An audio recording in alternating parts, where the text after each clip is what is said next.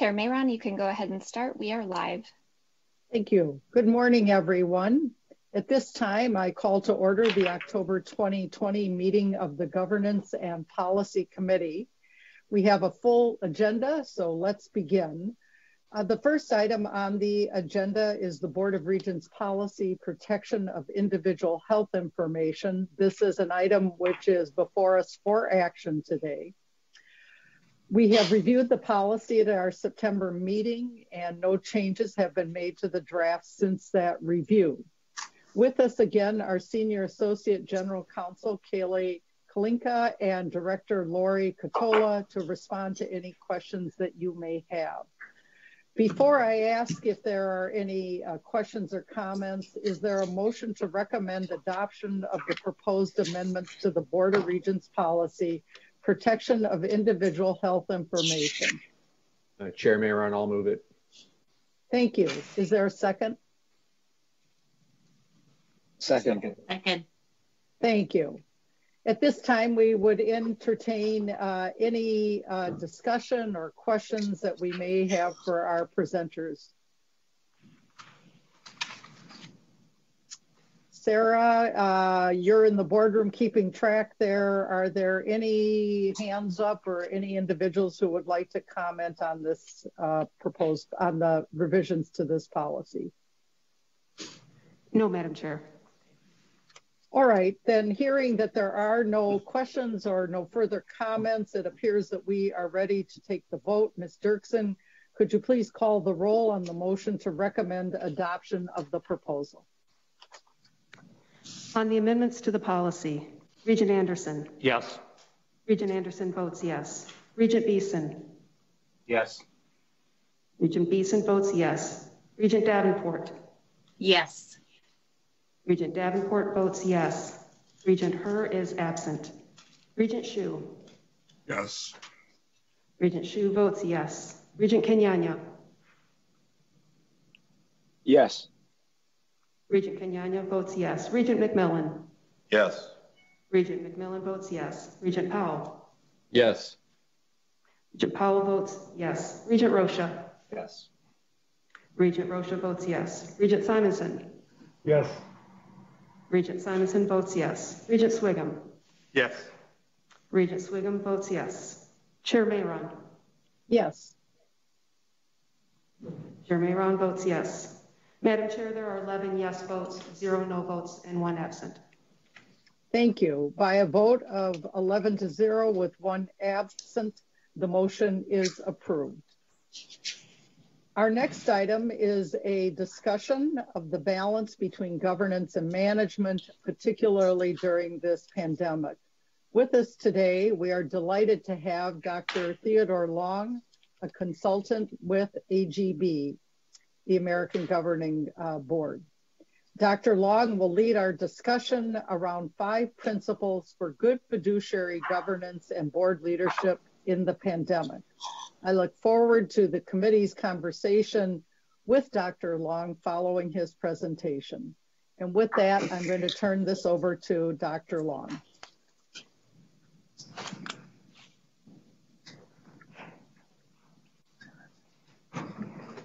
Thank you, Chair Mayeron. I am pleased uh, to have been invited to join you today.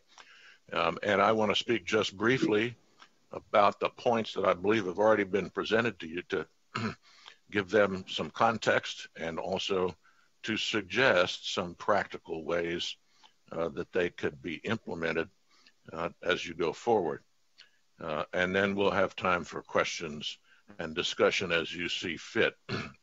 the first thing to uh, emphasize in this is that the principles of good governance don't change in a pandemic. Uh, they are accentuated in some ways and intensified in others.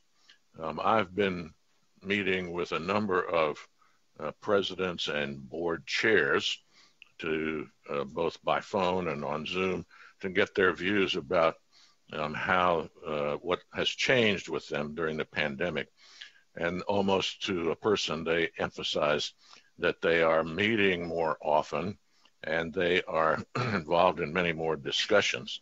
Uh, but the question of how they are balancing um, governance and management remains a, uh, one that is still tense and has uh, questions surrounding it. I would emphasize that uh, the, the broad context for board work is that boards serve as fiduciaries for their institution.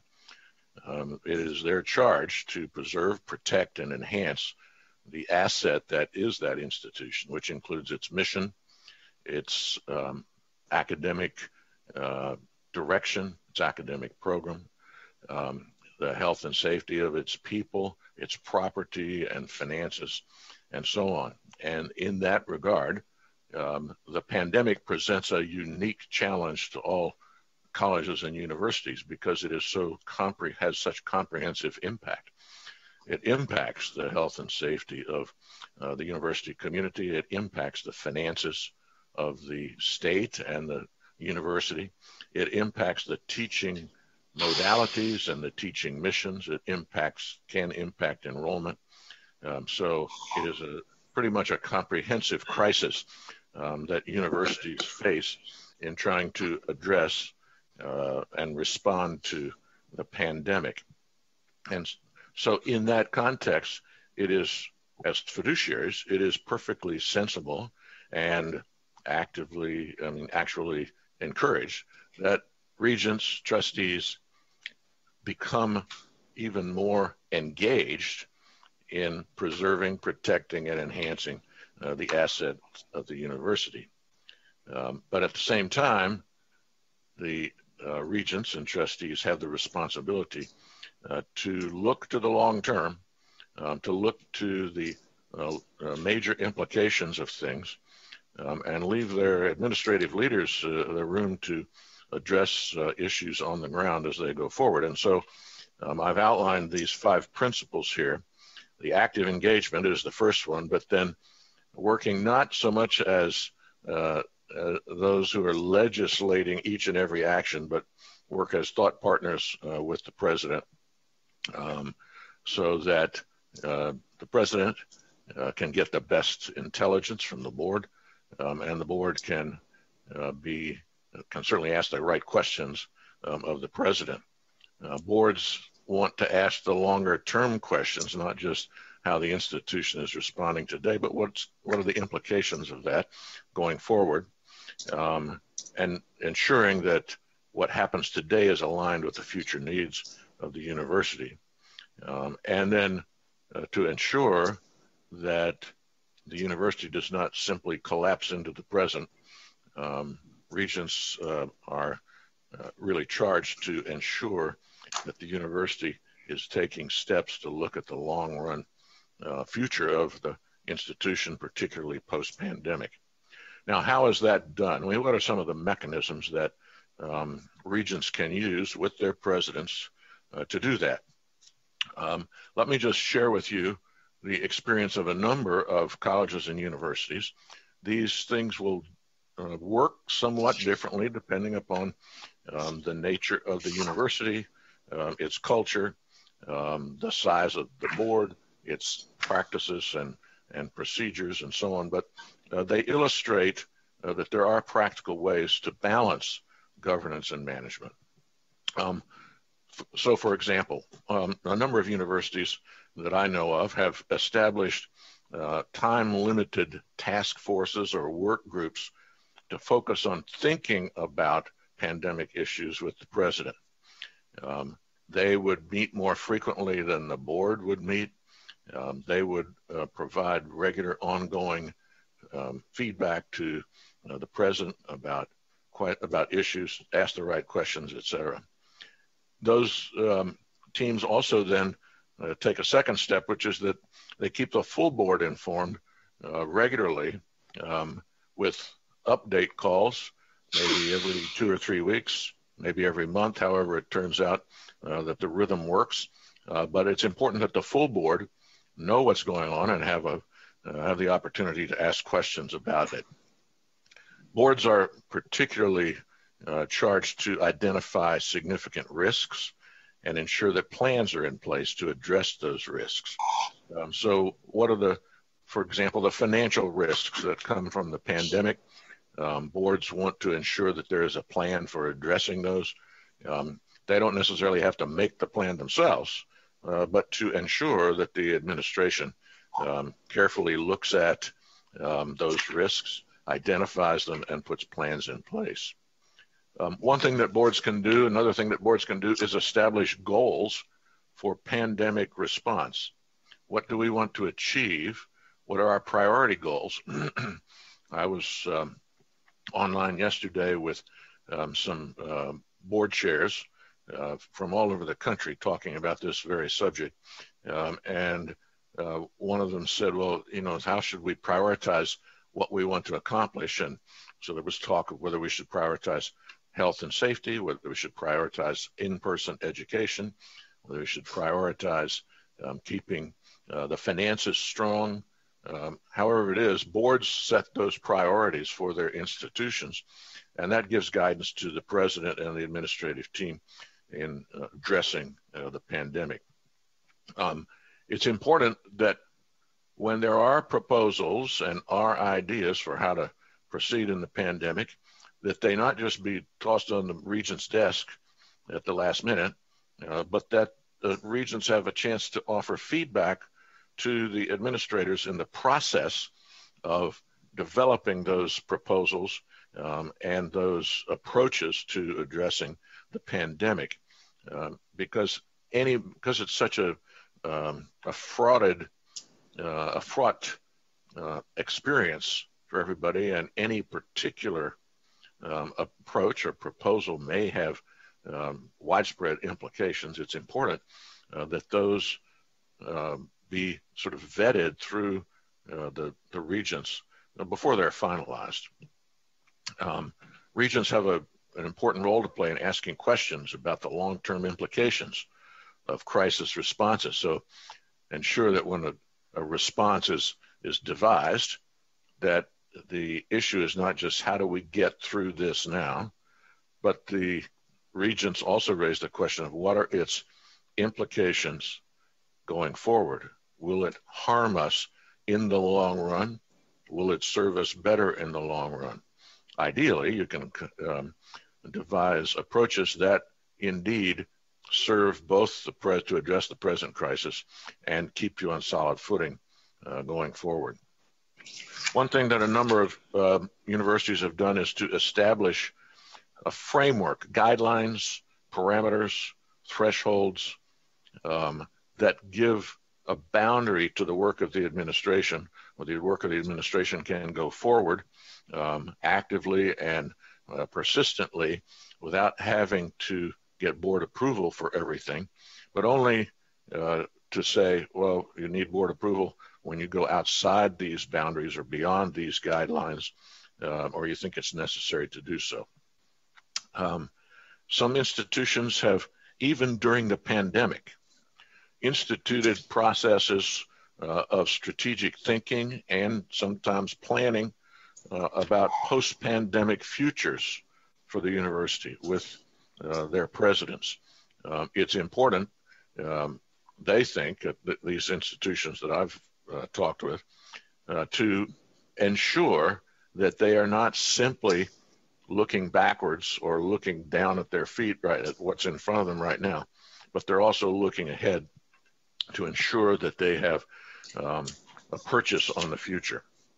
Um, Another thing that is important for regents to do is to consider um, short-term financial strategies that will ensure sufficient resources to cover losses or to um, address uh, new um, costs that come with the pandemic and to ensure the effectiveness of the academic program. And most, um, you know, many universities have reduced their operating budgets. They've made uh, strategic cuts in them uh, to make sure they can go forward. Uh, but they've also, of course, got additional costs, and they have to find a way to fund that. A simple one is the cost of testing students, faculty, and staff uh, for COVID.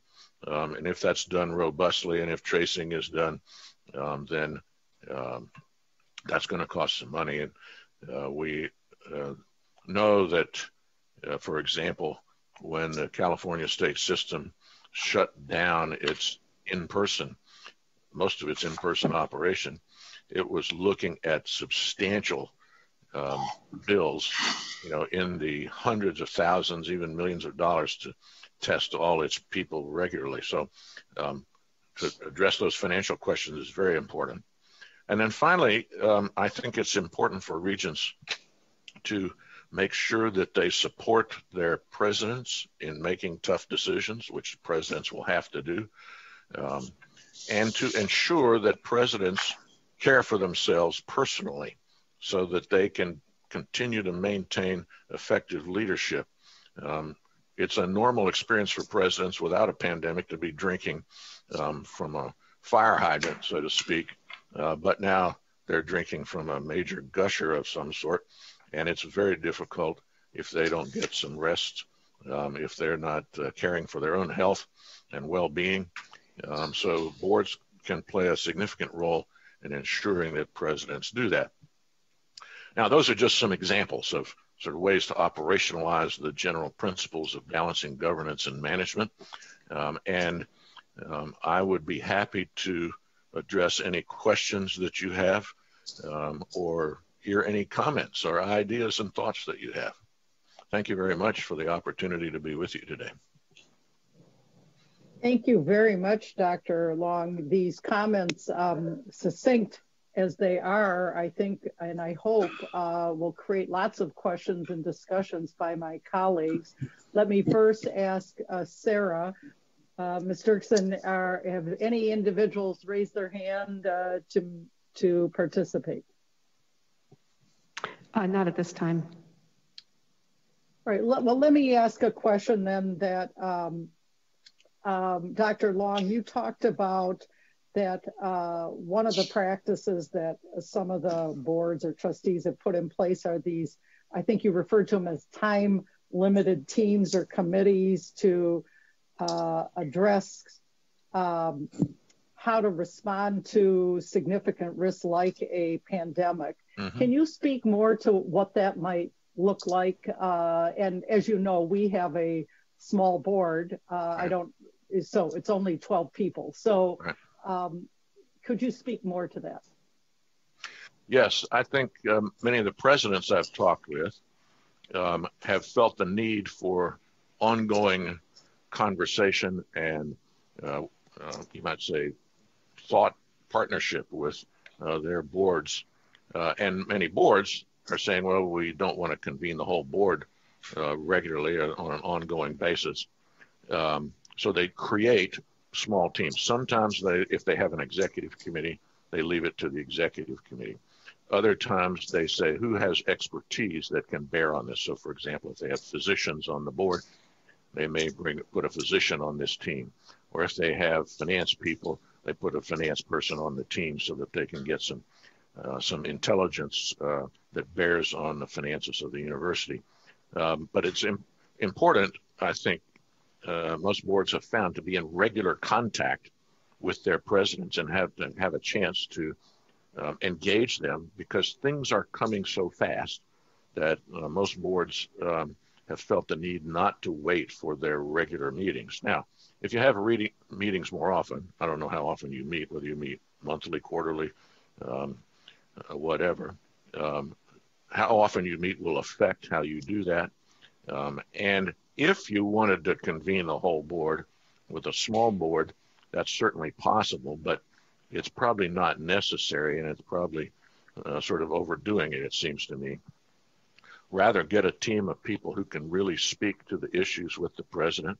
That team could change over time, uh, but its one sole task would be uh, to be a thought partner with the president on an, through the crisis. When the crisis is over, when they, you know, the board and the president consider that they're moving back into a more normal rhythm of activity, uh, the need for that kind of intense conversation uh, probably is moderated, and you can uh, eventually disband that and go back to your regular practice. But it's been I've seen a lot of boards do it, and they've uh, they find it very valuable. So do their presidents. Thank you. Uh, just so you know, our board uh, meets has regular meetings scheduled uh, eight times a year. Eight times. Uh, so eight times. Uh, so there are some months where they're consecutive and others where, for example, we have the October meeting. There will not be one scheduled, a regular meeting until uh, December. But that said, uh, we, and it sounds like many of our, uh, the boards around the country have been uh, meeting in special meetings uh, ever since the pandemic hit. So pretty much on a, a fairly routine basis since uh, March of this year. So eight regular meetings and then special meetings as needed. Mm-hmm. Um, Ms. Dirksen, are there some hands up uh, questions for Dr. Long? Uh, yes, Madam Chair. Regents Hsu, Rosha, and Powell, and then Thank Regent you. Beeson. All right. Hsu, Ro uh, Rosha, Powell, and Beeson. All right, Regent Hsu. Thank you, Madam Chair. Uh, thank you, Mr. Dr. Long, for being with us uh, today. Uh, as you may have uh, looked at our uh, future agenda today, uh, you might have seen an issue related to athletics. And I'm not sure I heard you say athletics, but I but I wanted to hear you say athletics. So I'm not sure exactly what you said. But as you know, there are a lot of colleges and universities around the country dealing with the idea of cutting sports um, uh, from their athletics programs. And we have uh, something coming on our agenda today. And I was just wondering uh, if you could give us any ideas about that since uh, it is a very timely topic and relates to the pandemic and uh, other you know financial stresses. Um, so Regent Hsu um, I have uh, not seen the rest of the agenda, only the this items, the documents for this item, but I have been following the athletic issues for colleges and universities around the country. Um, and it's, um, I would say, first of all, it's an enormously difficult uh, question. Um, and I think that the real question for regents and trustees is how to balance a number of imperatives, you might say, a number of goods um, in university operation and functioning. You know, one good is the health and safety of students, faculty, student athletes, etc. Another good is uh, sustaining um, the educational mission of the university. Another good is financial health of the university. Um, and another good for universities is, in fact, how they relate to their publics.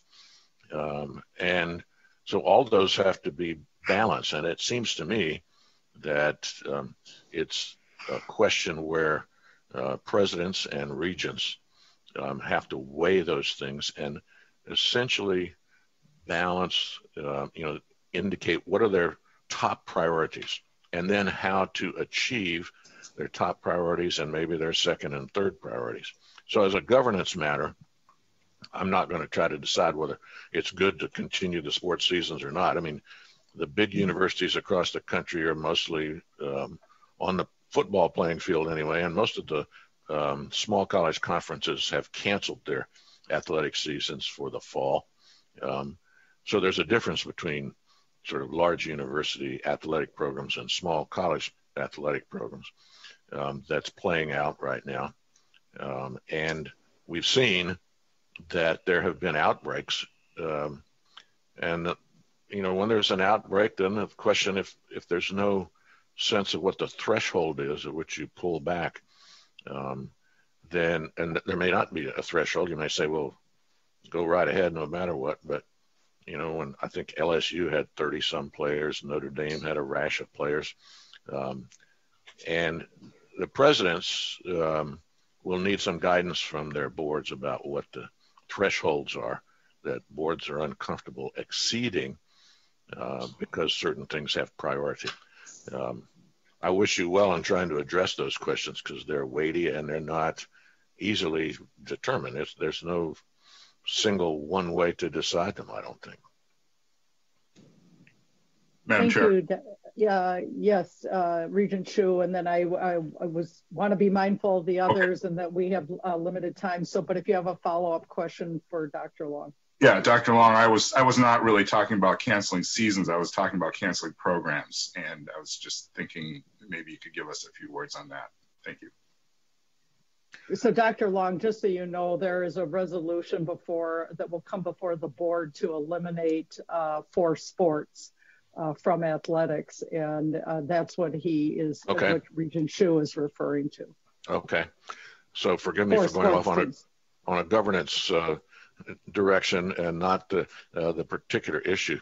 I think, though, there are some similarities in response, which is that uh, regents set priorities and uh, set goals for what needs to happen in their universities. And um, a number of places have reduced their athletic programs um, for reasons having to do with finances, with having to do with safety, um, having to do with you know their, the, what their perceived importance is in the in the scope of the university's activity. Um, and I think it's incumbent upon athletic programs as well as academic programs and student service programs all to be subject to some if there's going to be reductions in the university uh, they're going to have to come from a whole variety of places. Uh, athletics should not be exempt from that if they're uh, saving savings to be had. Um, and that would include coaches and staffing and you know all the things that go in the cost of athletic programs just as they go in the cost of academic programs. Um, and i would say um, athletics in a university is a great asset to universities but in fact if it um, if you have to cut um, academics um, by themselves um, that would not I would think from a university's point of view and its mission um, that you would take a look in other areas first before you reduce uh, academic programs and teaching capacity. But that's just a personal view. That's not a recommendation or anything like that. I think it's uh, you have to make your own choice about that. Um, Thank you, Dr. Long. I'm going to move to uh, Regent Rosha. You had a question or comment for Dr. Long. Thank, thank you, Madam Chair. Um, Dr. Long, thank you very much for being here. I, I find your uh, commentary to be timely and, and of, of great interest. I, you, you, you led in with the, the concept that um, it's critical that board members have a chance to provide input, um, you know, on, on important topics prior to the development of a plan that ultimately comes in front of the board. I think that that is probably pretty consistent with any kind of employer-employee relationship where an employer has kind of granted um, a certain range of, of, authorities, but then reserve some, and, and, and, that I think is very important. Um, you, and you talked a little bit about um, about the prospect of creating kind of smaller groups in certain topics. Of course, as a board of 12, you know, you're not going to get a whole lot smaller than we already are, I think, compared to some boards that are considerably larger. But in that kind, I, mean, I guess I got I've got a couple questions. One is, you know, what what do you think is the biggest risk to boards if boards don't are, are not actively engaged as members and participating in those conversations while these things are being developed? What are what are the risks if a board doesn't uh, participate, either you know board members not being available or not having the opportunity? And then the second thing is, um, if you do have these smaller groups that that are sort of advisory, because ultimately for us we already have you know we have a state constitution and we have policies that talk about what the board must weigh in on. Mm-hmm. Um, if you're going to have smaller groups that are in an advisory role, which of course doesn't you know vacate the the, the, the total board's obligation to, to, to pass judgment on things, what's the what? How would you advise a group like that to keep the rest of the board engaged, involved, and and and uh, make sure the entire board continues to have an opportunity, and that you don't end up kind of creating little, little fiefdoms, where where some some board members have an opportunity and other board members maybe feel that they're not in, engaged, just to make sure that we continue to be collegial across the, the, the span of the, the full board. Yeah.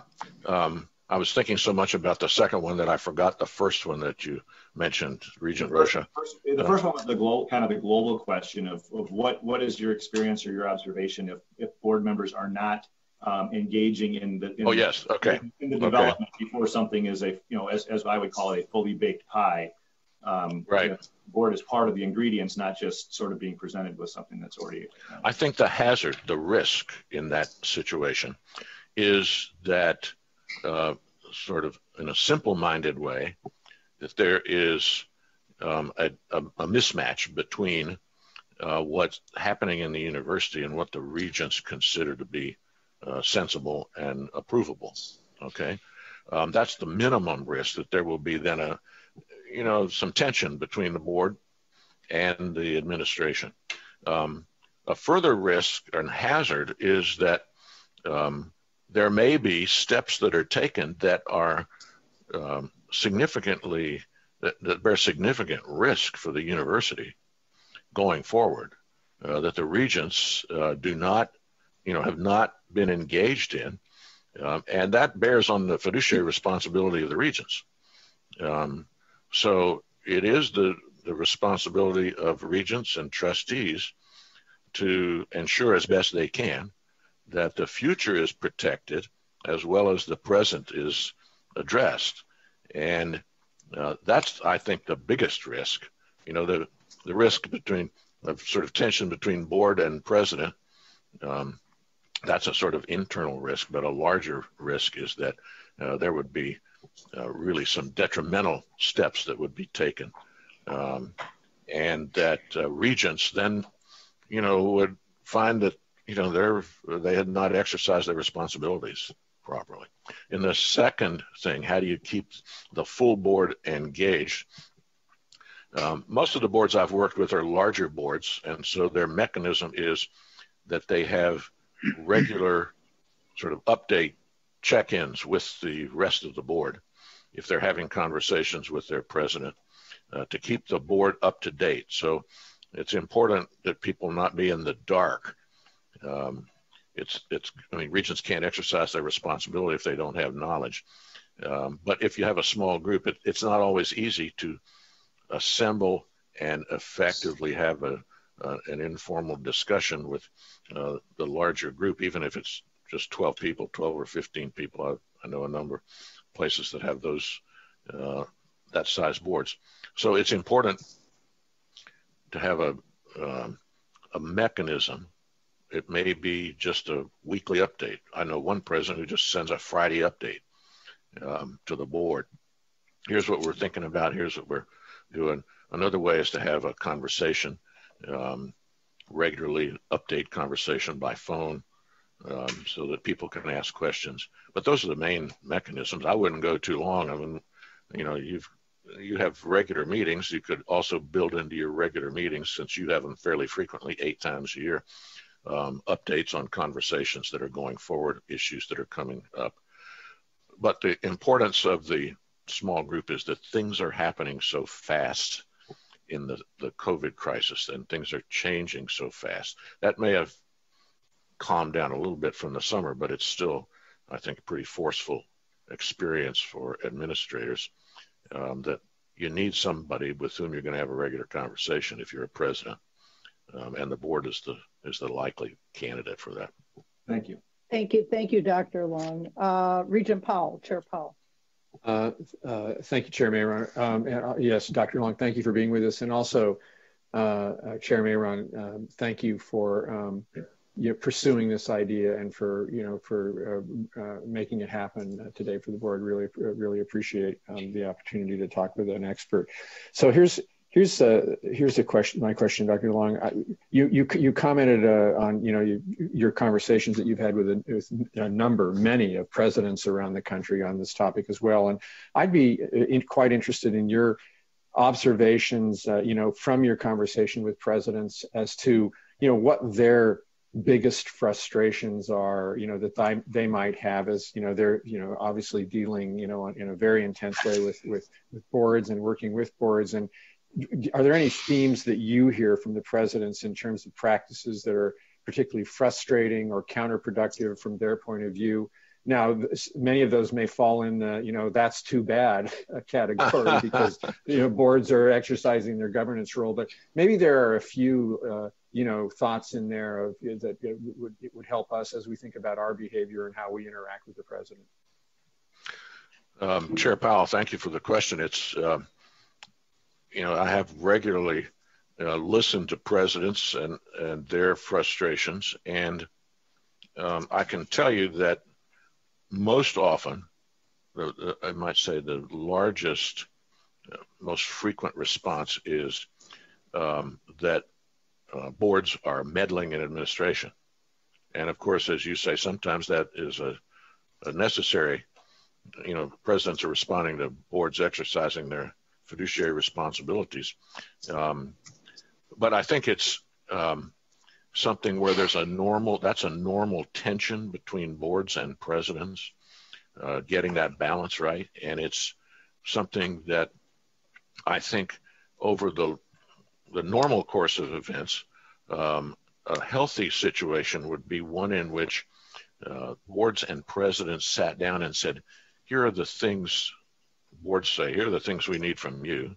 And presidents say, here are the things I hope you do for me. Um, and here is what we think are the responsibilities. You know, presidents have authority for this, boards have responsibility for that. Um, Dick Chait, the um, uh, professor emeritus of higher education at the Harvard Graduate School of Education, um, has uh, created some mechanisms for boards to do that, to do that exercise of where uh, the responsive, the primary responsibility is going to to rest, and where the, it is that that boards should be active, and where it is that uh, they should be less active, and and leave things to their president. So that's the biggest one, I think, um, that I've heard on a regular basis, ongoing basis. Um, then um, the the things that uh, presidents say about their boards uh, more often has, I mean, sometimes has to do with individuals.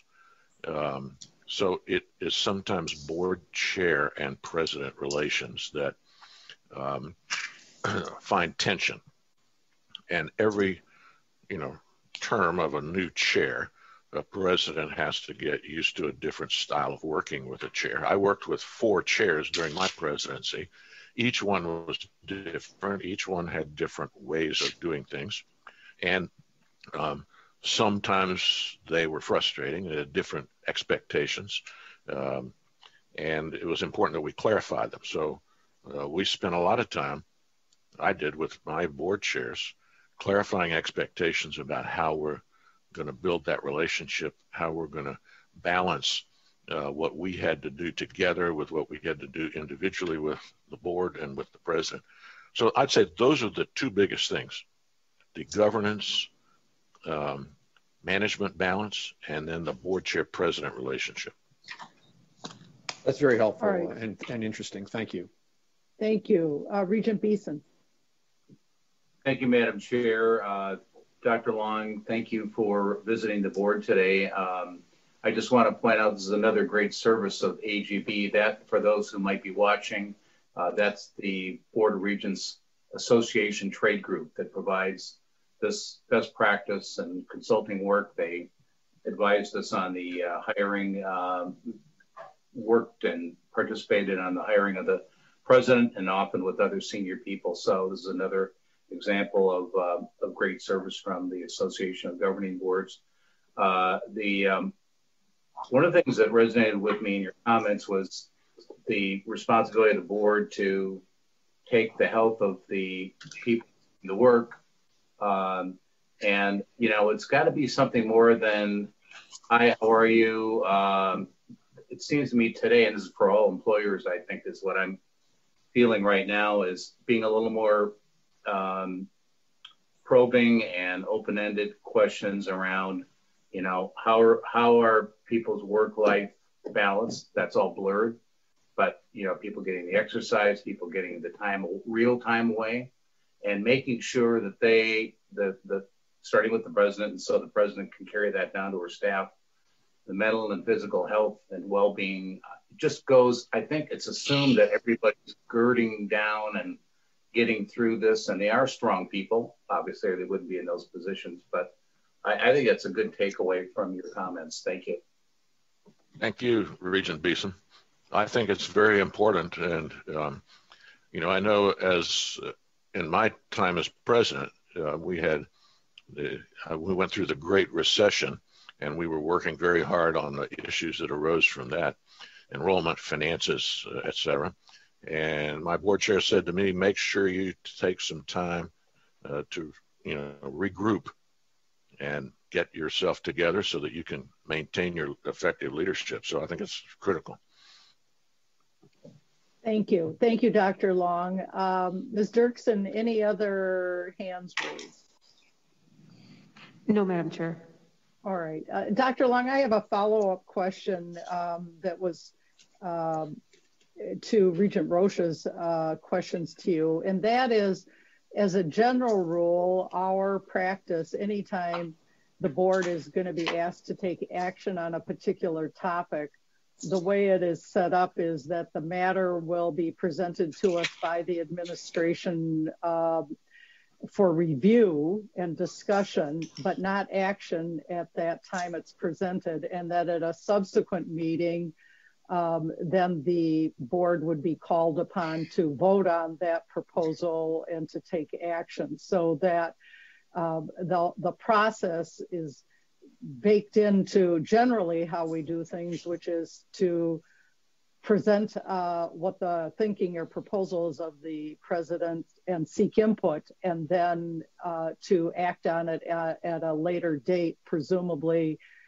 taking into account whatever input the administration received. Uh, so that's how, in the normal course how we uh, um, are set up to, to take action on particular items.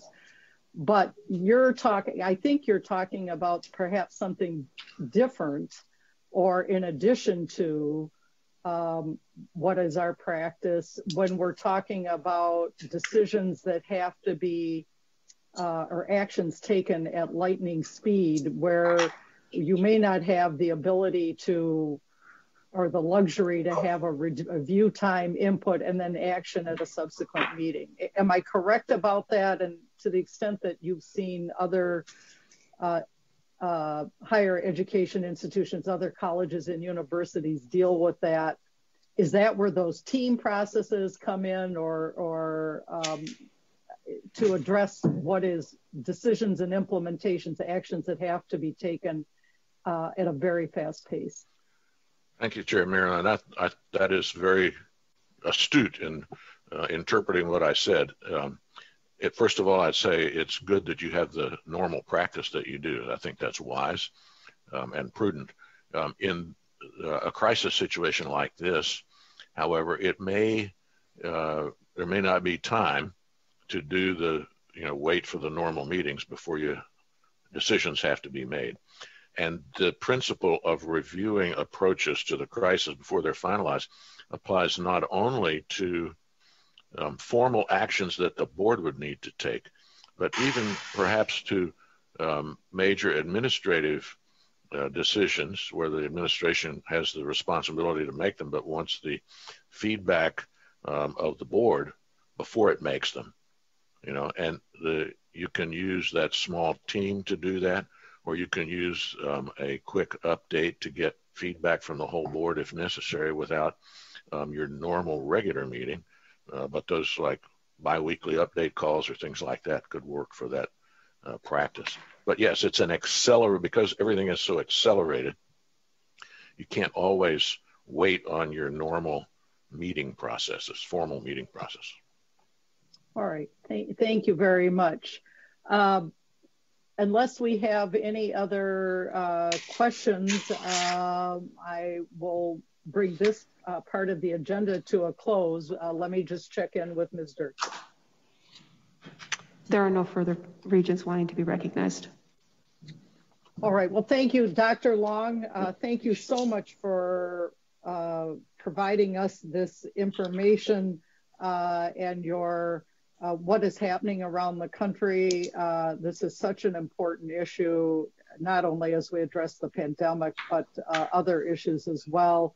And so I find this very helpful, and I have a feeling uh, because part of our agenda on a going forward basis for the governance committee, which is a committee of the entire board, will be to uh, seek out other training opportunities to help us be the best uh, we can be and the most effective we can be as fiduciaries for the university. So thank you very much for thank you, lending Chair your expertise to us. Thank you, okay, and let me let me uh, express my thanks to all of you for uh, the service you give to your university Um, it is vital, and um, I wish you all the best um, in advancing the university. Thank you very much for inviting me. It's been a pleasure to be with you. Thank you. Our next item is review of a resolution related to the amendments to urgent approval authority. This resolution was introduced by Regent Rosha at the September meeting and was referred to the committee by Chair Powell.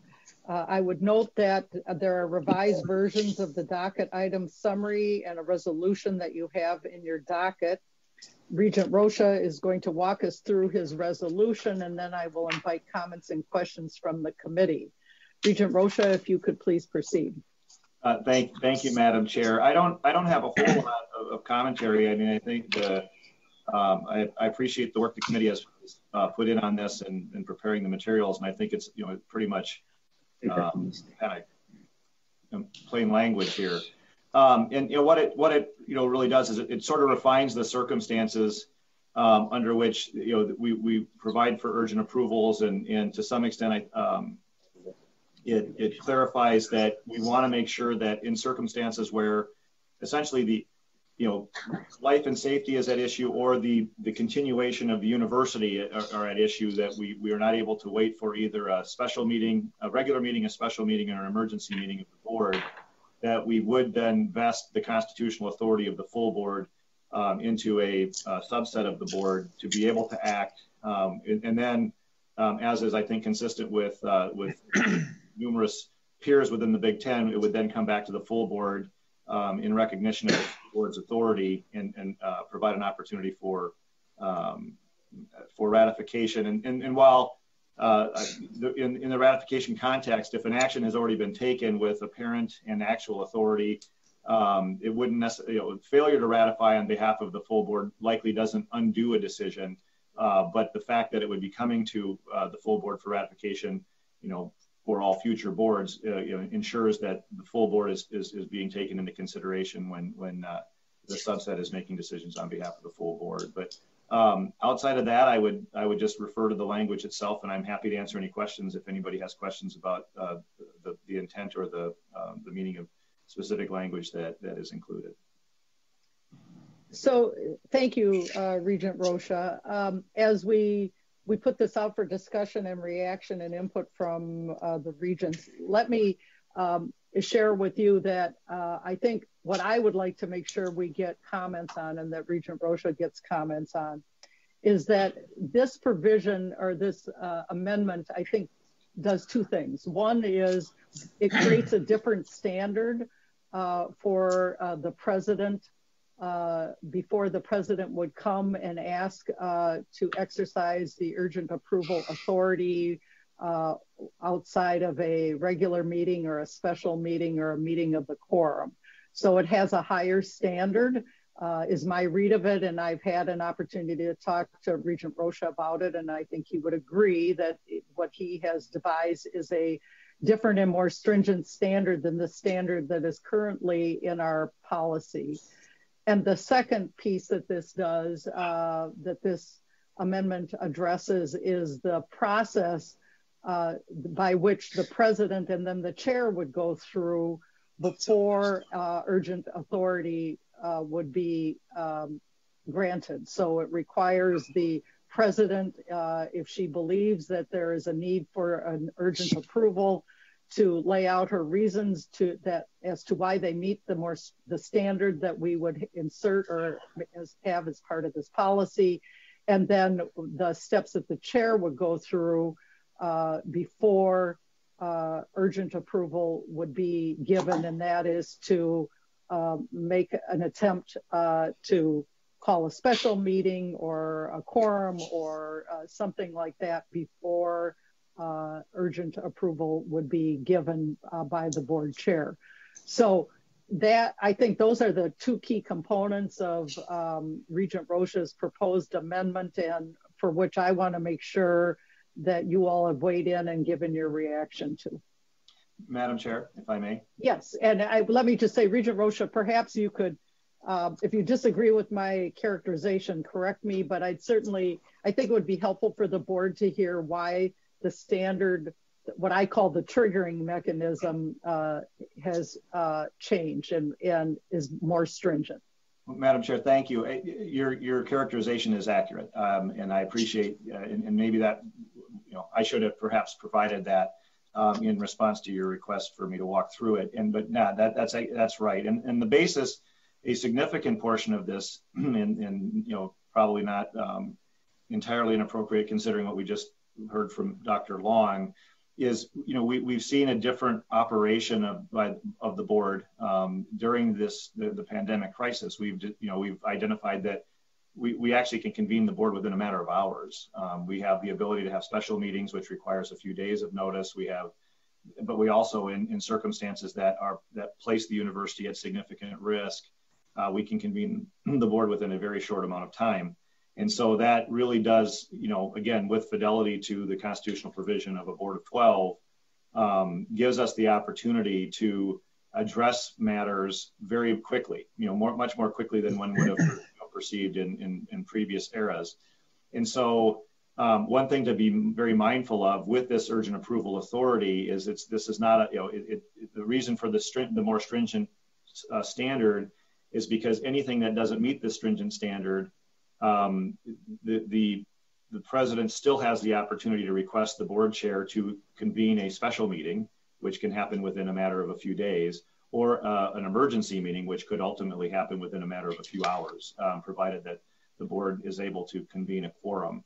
And, and, and, certainly, if you're talking about being true to our legislative uh, expectation and the constitutional provision, um, if a quorum of seven can be convened within a couple of hours to, to act on behalf of the board, that is better than a subset of the board that's smaller than that. You would obviously want to have um, the, the, the, largest number. If we can convene all 12, that's the best. If you, if you can receive a quorum, that's, that's even better. But if it meets the stringent standard that it simply can't wait for a three-day notice, then, then under those circumstances, life and safety or the university's continued operations are at risk. That would then provide this opportunity for a small subset of the board to act on behalf of the full board with that ratification being available at the next um, meeting of the board. So um, just be bear in mind that this does not defease the president. Um, uh, if things that don't meet the standard, you know, the president's not just out of luck. The president still may ask the, the chair to convene a special meeting, and if, if that's not enough time, or if you need, if, if there's not enough time for that, an emergency meeting. And then if that's the case, then it would need to meet the stringent standard to then under the urgent approval authority, which uh, um, we've already seen exercised by the board uh, with respect to that, being able to convene emergency meetings within a short amount of time. So that's the intent. It, it just makes it very, very clear, you know, here's the standard, that's the subjective part. That's really between the president and the chair to determine whether it would be a special meeting or an emergency meeting. If it meets the higher standard, the chair then has the opportunity to, after seeking, either determining that there's not enough time to seek a, an emergency meeting um, seek to convene an emergency meeting, and if, if that's not possible, then they, they, still have the authority to act on behalf of the university in that very li very limited setting. Thank you, Madam Chair.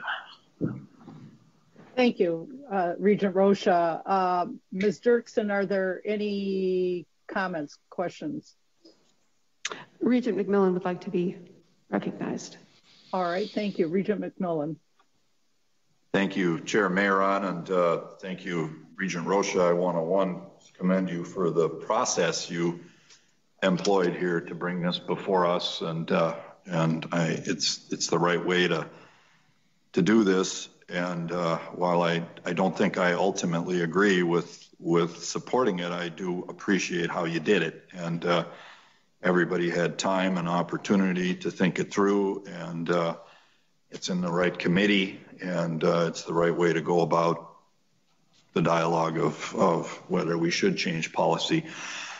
That said, I, uh, I, I look at a couple factors as I think about a change in, in process like this, and this is fairly significant. And I look at the fact that this has not been misused over time. It hasn't been, the, the use and application of it's been extremely judicious. And before I would change that and eliminate basically, as Regent Mayeron said, or Chair Mayeron, you know, raising the bar to the point where the urgent approval is essentially gone.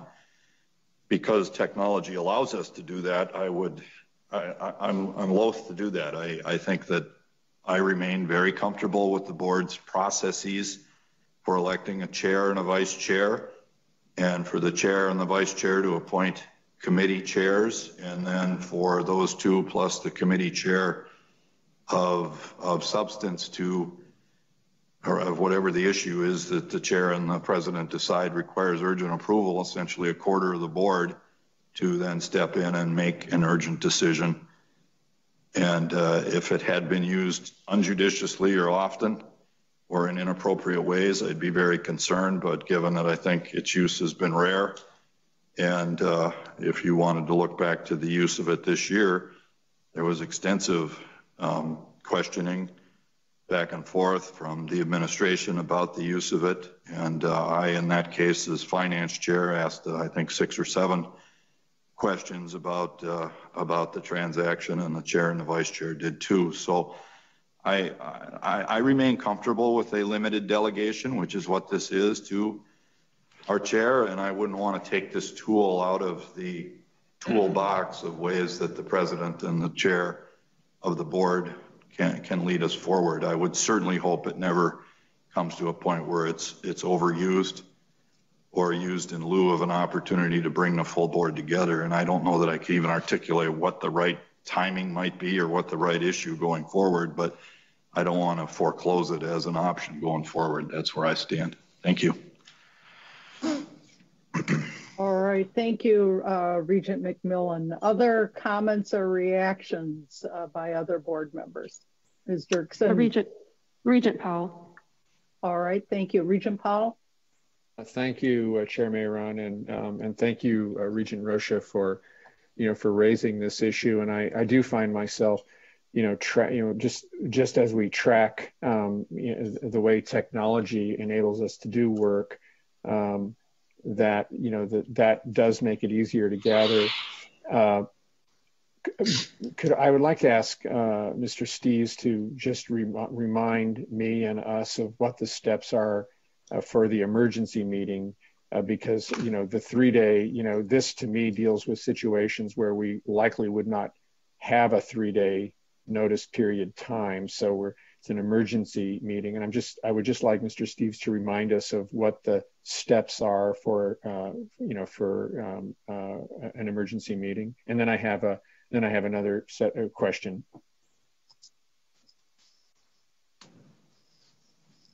Okay. Thank uh, you. Madam Mr. Chair. Yes. Madam Chair and Regent Powell, uh, the open meeting law contemplates three different types of meetings. Uh, one is a regular meeting, which you notice throughout the year. So you establish a calendar of your regular meetings throughout the year and you notice what those dates are. The second kind of meeting is, uh, is a special meeting, which requires the three days of notice that has been talked about. And then the third, the third type of meeting is an emergency meeting. And what the law requires is that uh, the board give as much notice as is practical in the in the situation. So it doesn't have a specific timeline in terms of how much notice there is, but we would obviously, as soon as we were able to confirm that a quorum was available and we had the meeting venue uh, confirmed, we would issue that notice um, and and uh, then hold the meeting. Okay. Um, thank thank you for that. Uh, and I do think that um, you know with those vehicles now available to us, you know via you know email and Zoom, um, it really I think it is appropriate to um, look at the um, uh, criteria for um, urgent approval. The the concern I have is I don't I, I worry that you know we inadvertently you know make the conditions so tight that we we get ourselves you know, into a situation that we can't get out of. And so the only thing that I am thinking about and will continue to think about is have we expressed the circumstances specifically enough so that there's really very, very clear um, guidance and we don't, we don't, again, inadvertently paint ourselves into a corner during a period of time where the president really needs um, authority. And so I know that that's not you know very specific right now but it's that's the area that i'm thinking about that we the criteria are you know really anticipate what could happen in this situation fully uh, thank you uh, chair powell um, other uh, comments or questions by other regions? Regent Rosha. Uh, yes, uh, and then I do have a comment, but go ahead, Regent and, Rosha. You and, may want to respond to uh, what has been commented already. Oh, Thank you. And Madam, oh, oh Madam Chair, I'm sorry. And then Regent, yes. and then Regent Kenyanya. All right. Madam, so, Madam Chair, I will, as is traditional, that the maker or the presenter, you know, uh, kind of follows up. I, rather than speaking multiple times, I will I will hold off until others have had a chance to, to make their statement. Thank you. I, th- I appreciate that. All right, Regent Kenyanya. Uh, thank you, Madam Chair. Thank you, Regent Rosha, for the uh, resolution. Um, I, I mean, I, I, I, mean, I agree. I was looking at the the the list of urgent approvals from FY 2016 to present, um, so, and looking at that list, I agree with Regent McMillan that, um, you know, though I wasn't around for a lot of this and don't know the context, I, I don't see a pattern of abuse or, or overuse.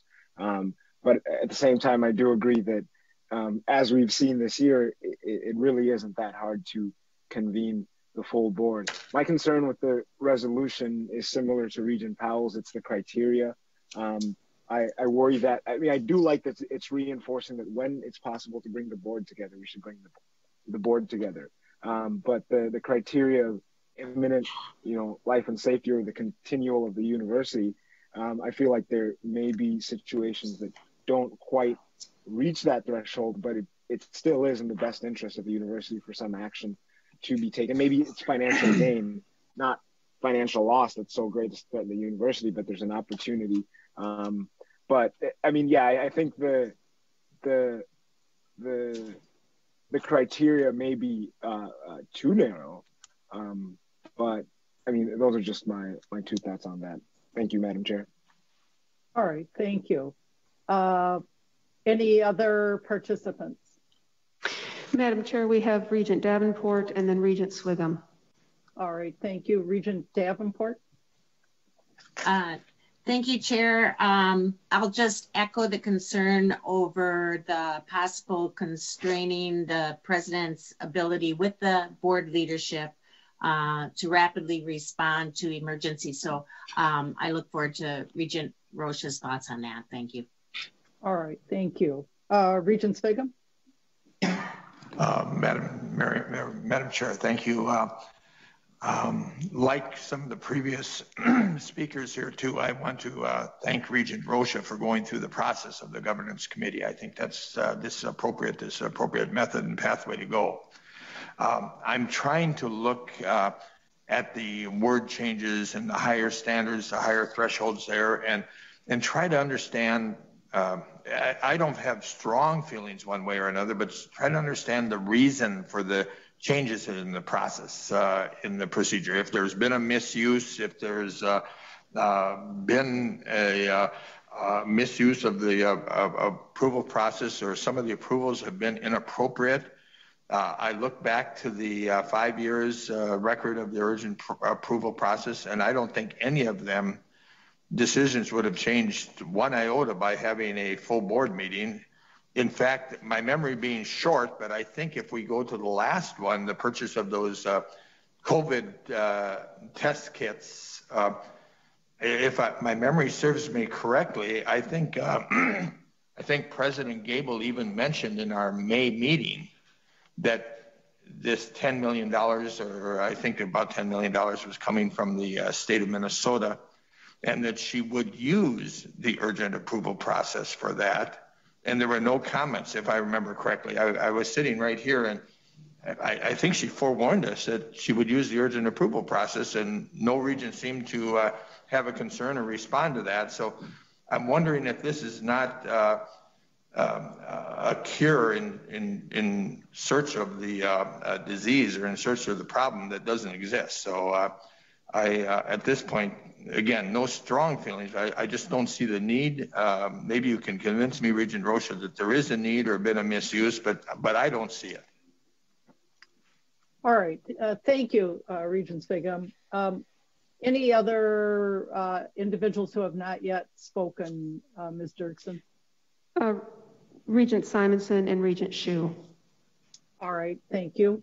Uh, Regent Simonson? Thank you, Madam Chair. Uh, just kind of a follow-up on, on Regent's uh, comment. Um, and I don't think it would have changed the situation at all, but just looking at the uh, home code uh, uh, situation there, uh, I don't understand why a three-day uh, chance to call the whole board together would have changed anything. You know, why did it have to be done? And I'm not saying it would change, and I'm not against it, but the process is what I'm talking about. All right, thank you, Regent Simonson. Uh, Regent Hsu. Thank you, Chair Mayeron. Um, I would just like to express support for the changes. I um, actually looking at the list, I would say that a number of these uh, should have probably just gone to the full board for a review, and there aren't any real uh, cases where um, there was a, a, true emergency from my uh, my uh, memory. And I was around back in August 2015, uh, which I believe I, I was one of the people who suggested we use that um, at that particular time. Uh, but uh, I don't know what occurred probably before 2015, but I think uh, once we started using it in 2015, it kind of got out of control a little bit. But I'll um, I'll just leave it at that. I support uh, the uh, changes. Thank you. All right, thank you. Um, any other comments, Ms. Dirksen? Regent, Regent Beeson. All right, thank you. Regent Beeson? Thank you, Madam Chair. Uh, I, you know, I also do not um, have particularly strong feelings about it. I, I, I think it's the process has been uh, good and that um, uh, it's a reminder, whether or not this is approved, it's a reminder for staff to um, not get lax on uh, on uh, how we uh, we run uh, the board. There there are some advantages for and benefits, financial and otherwise, for the for these um, transactions. Often these are business supply and equipment purchases to move those along quicker. They're they're they're almost never controversial. Uh, and so, um, but again, I appreciate it. I think it's a good, good check-in with um, uh, between board and staff that the thresholds and the the the policies that have are there for a purpose. The exceptions have been rare, and I think that shows that generally the administration's following the uh, uh, the spirit of, of, the policy. Thank you. Thank you, Regent Rosha.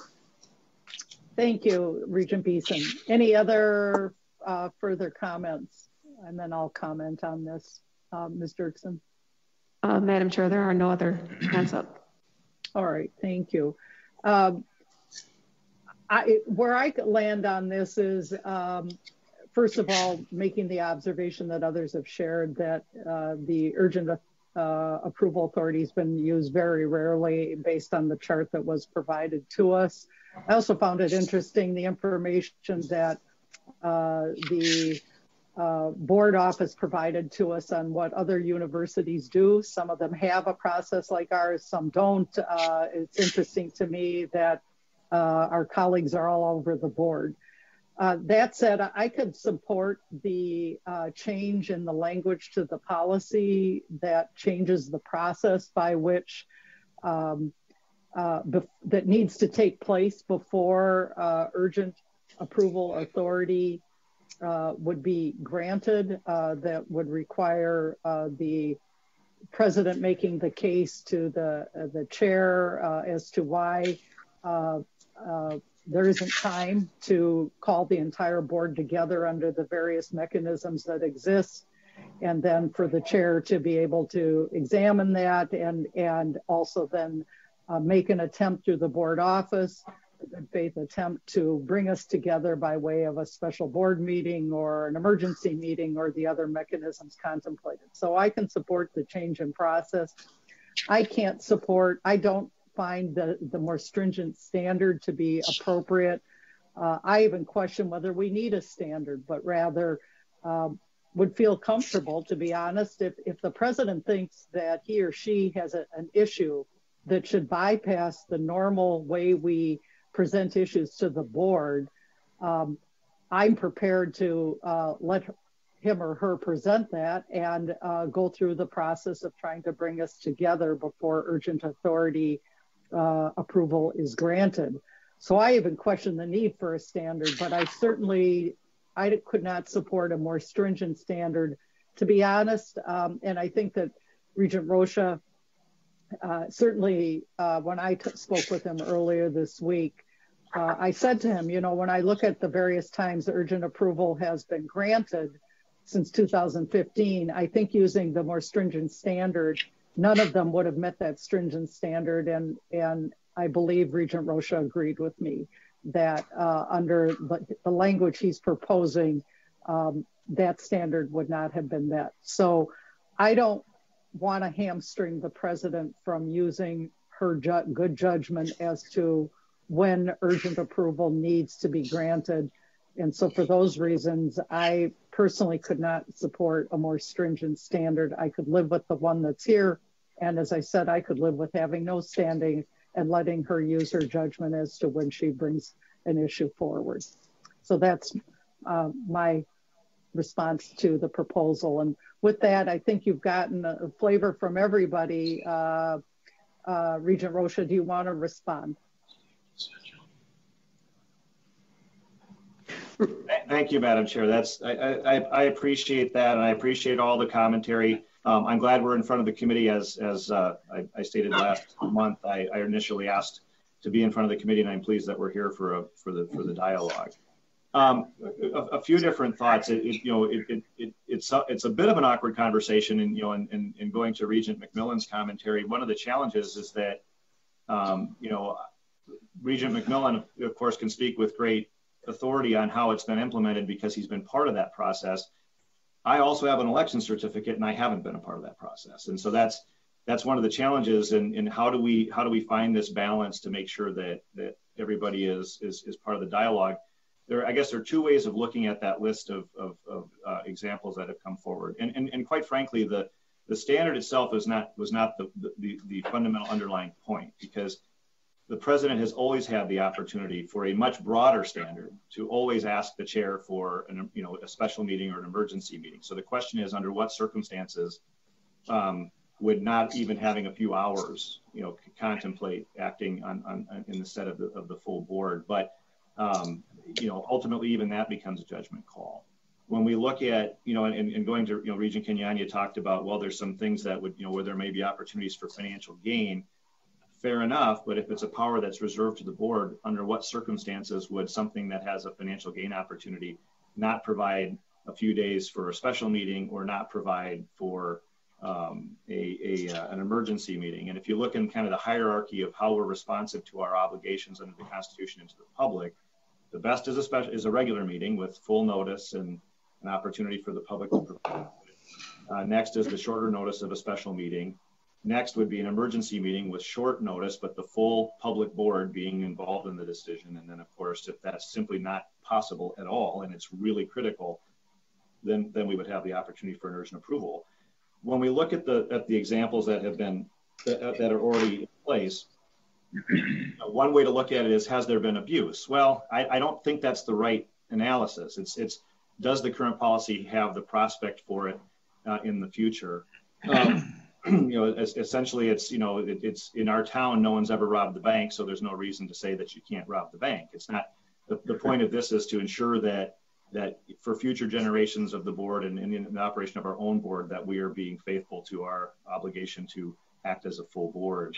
Um, when I look at the with the previous examples, and I, I, think that I know there's at least one that's not on the list that was used over the last year.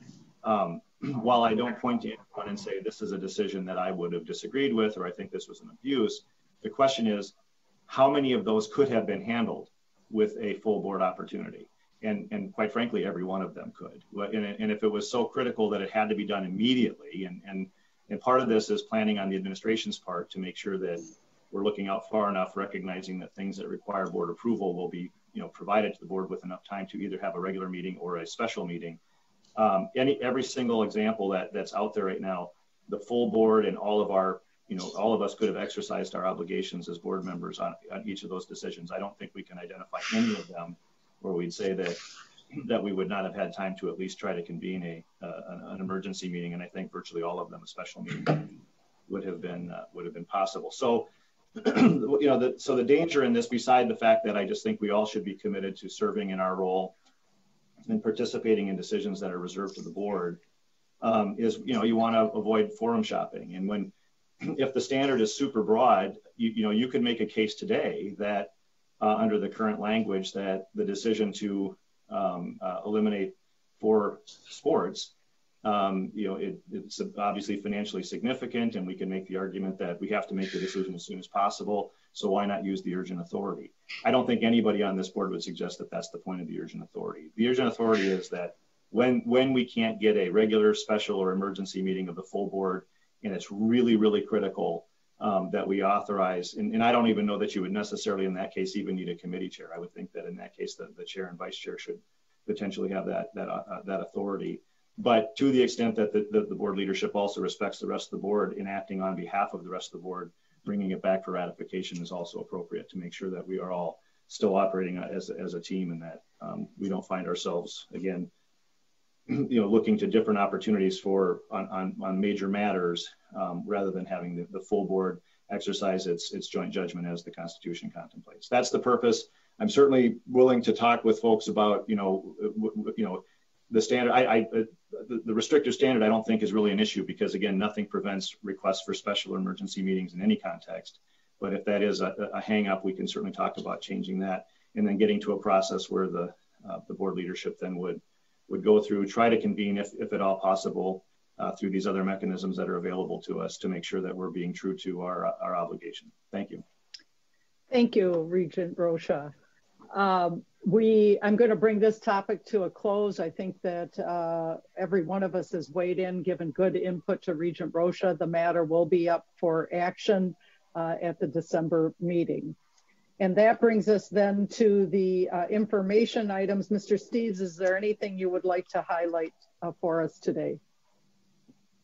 Uh, Madam Chair, I'll just simply note that in your docket there is a summary of a progress report basically on the ongoing review to align administrative policy with board policy. All right. Uh, any comments by any regents on the information items? Ms. Dirksen, anybody have their hand up? Madam Chair, I don't see any. All right. Then there being no additional business before the committee, we stand adjourned. Thank you, everyone. Uh, I understand that the Board of uh, meeting will begin in 15 minutes. Is that correct, or are we? Is there a different timeline, Mr. Steeves? 15 minutes. Yeah. So. I'm sorry, um, Mr. Uh, Regent. Uh, Chair Powell, you are on mute. I was just I was just going to say um, let's uh, reconvene at 9:35. 9:35. Thank you very much.